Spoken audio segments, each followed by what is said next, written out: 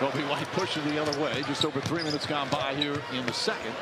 Brown another. That's a third steal by Iguodala. What a pass! And Lee banks it home the other way.